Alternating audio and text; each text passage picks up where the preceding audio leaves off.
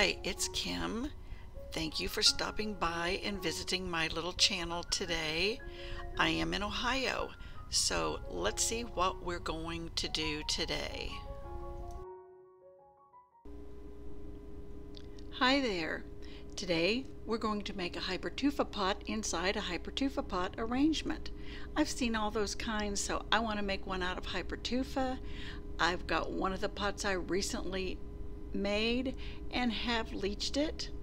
I do that in a water bath, just several days leaching it like this, just letting the water fill up in the morning, dump it at night, fill it up in the morning, dump it at night until I get it leached. That way I have something really quick and I've gotten a little small hypertufa pot. That's an old one. I'm going to put that in.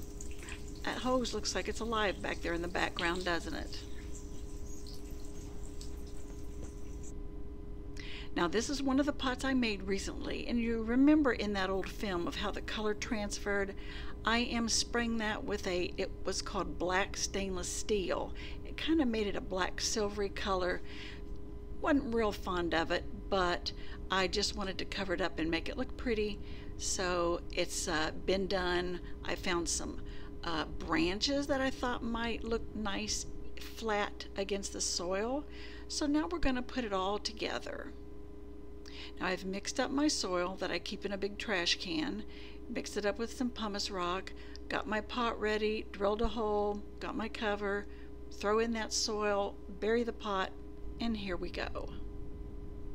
Now I kind of took the branches that I had um, thought of and kind of evaluated how they might lie on that surface of the soil and how they might look I am planning to kind of snip and pop the branches just to see how I'd like it.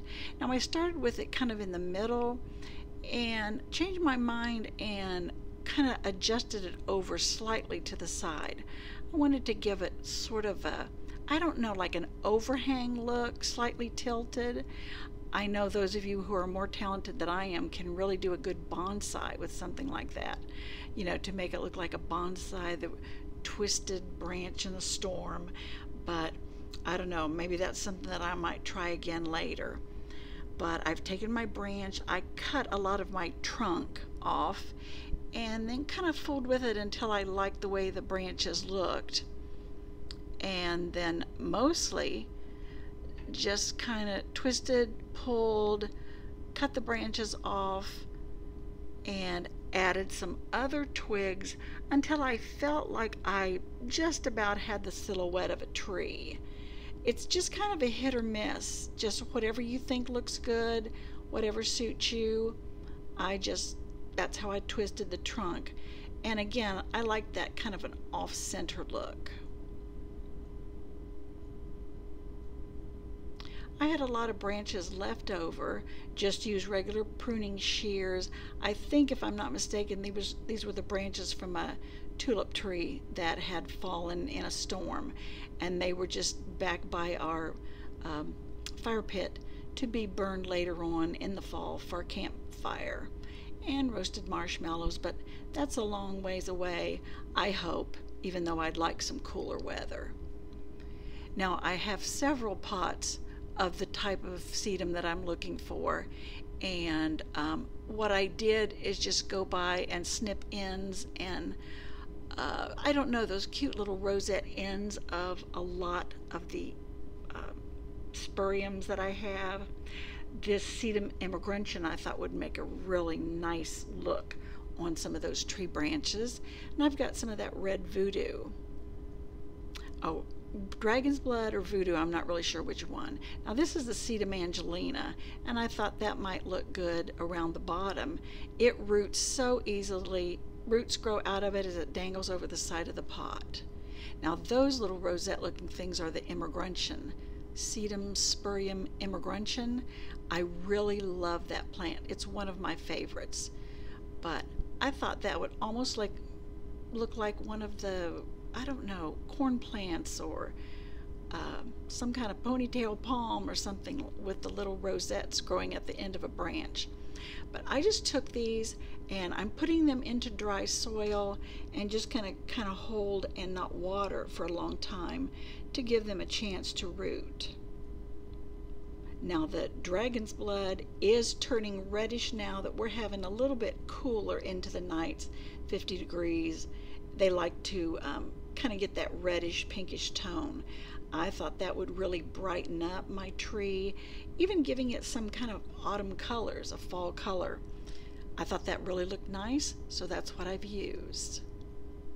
And I just basically just kind of pegged them in all around. Now these plants that I'm using, they're all winter hardy, zone 5 to 6 and even lower. So this is in, fully intended to be outside all winter long in the snow and ice. Won't hurt it. These plants will grow out there. So no problem at all. Now I did go around to try to find something with maybe just a little bit of different. I found some tricolor and then some Angelina that had already started to turn a little bit of a yellow gold on the end and I thought that would look cute. So I pinched and pulled a few of those little pieces off the tips and brought those around to stick in the pot.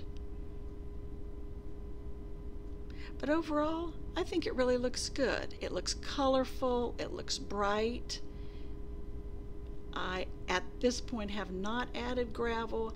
I do have some lava rock and then some of the gray brown gravel that I may add, but I want to give it a chance to root before I start rummaging around in it and adding some gravel. I do have some large flat stones that I might put down there with the grass, but at this point, this is what I have ended up with, and I really like the way it looks.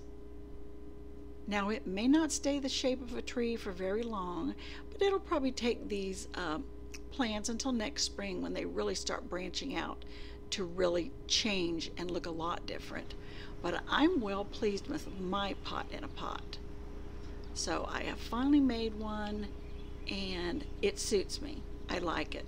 I put a few of those little petals to look like a falling leaf. I don't know if that's the same sensation you get or did I just drop one? But that's what that's supposed to be, a falling leaf petal. But I thought it turned out real nice. I'm well pleased with it.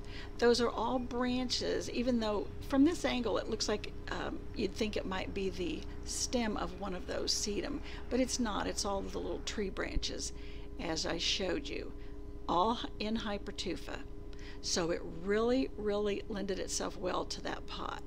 Now I think I might create another one, but I want the two pots to look the same, have this, the same texture, same color. So I may go to one of my older pots and try it again, but I'll update you and, let you see what that looks. But thanks for joining me today. I really like how it turned out. Thanks for watching.